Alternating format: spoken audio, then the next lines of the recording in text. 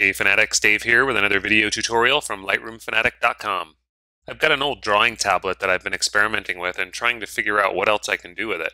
And one of the things that I came up with was annotating images inside of Lightroom. Over at LightroomFanatic.com, a lot of the posts that we have um, include a number of screenshots, and while I try to crop the screenshots to highlight the particular part of the screen that I want the reader to take notice of, sometimes that's not enough. There's a lot of software available that would allow me to annotate the images by drawing arrows or otherwise highlighting particular things of interest, but I really didn't want to have to leave Lightroom to go to another piece of software. Lightroom isn't just a big part of my photography workflow, it's actually a big part of my blogging workflow as well. I'll capture screenshots and bring them into Lightroom for processing and then export directly from Lightroom to my blogs. So it would be really nice if I could do some sort of annotation inside of Lightroom so that I don't have to incorporate uh, another tool into my workflow. So the technique that I'm going to show you now, you, you can do with a mouse. Uh, I'm going to use my uh, my tablet just because I find that using a pen makes it easier to do some of the drawing and some of the fine-tune uh, precision work uh, over using something like a mouse. But but certainly the technique applies to to mice and other input devices as well.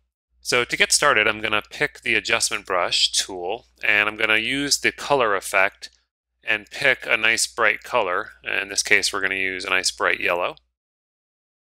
And then on the size, um, it sort of depends on the image and, and what it is you're going to draw, but I've found for the most part for some of the fine-tuned annotations that I've uh, been experimenting with that having a smaller brush is better. Uh, make sure your feathering is turned all the way down, your flow, your density are all the way up to 100, and that's going to give us the strongest brush that we can get. And then finally, make sure your auto mask is turned off. Now with those options set, let's say that I wanted to annotate and highlight the exposure slider here on this screenshot image. So what I could do now with my adjustment brush is to simply draw an arrow pointing to the exposure slider. And that's it. The benefit here is that I don't have to leave Lightroom to, to add uh, this annotation.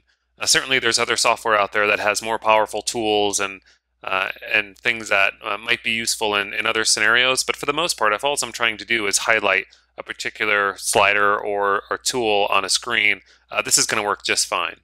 You can actually also use this same technique uh, if you wanted to, and uh, there are definitely uh, better ways to do it. But if you were just playing around and you wanted to, you can use this same technique to also sign your images.